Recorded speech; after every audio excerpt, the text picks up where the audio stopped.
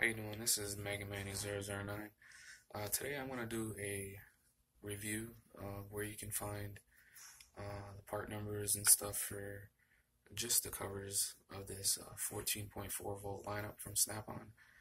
Um, everyone already knows um, basic, the basic reviews of just the tool themselves, but I just want to go over the protective covers that you find here.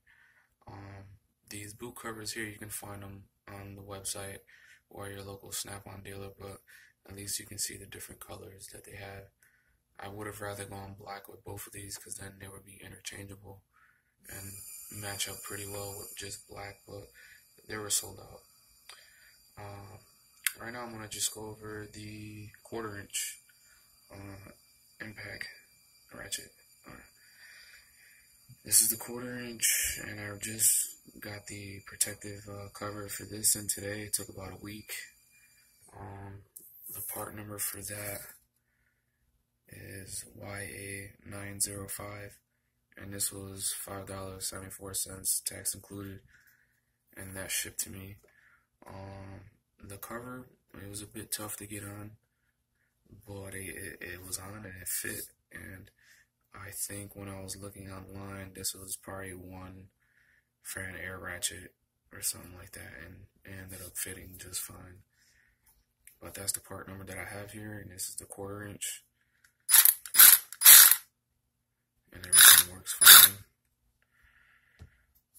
Alright, and then here, if we go on to here, this is the uh, quarter inch impact uh, wrench, and um, this one's a little bit uh, tougher because I couldn't find a quarter inch uh, boot cover for this, and I don't even know if they even make one. But I've seen a bunch of photos, and the 3 8 model of this 14.4 volt, 14.4 volt, I had um, covers for this in various colors. Um, so I gave them a call, and they had a red one, but this is for a 3 8 So when you put it on here, uh, there's a little bit of play if you see the you know, quarter inch gap in between there. So if you move it to the front, you see a little gap. Uh, it may bother a few people um, if you're anal about it, but for me, I mean, it's still covering it, it's still protecting it, and it still works. Um, but the part number for that is just the CT761 boot. Uh, so if any of you guys actually have the 3 8 model, I mean, that would be the part number for that and just see what color they got.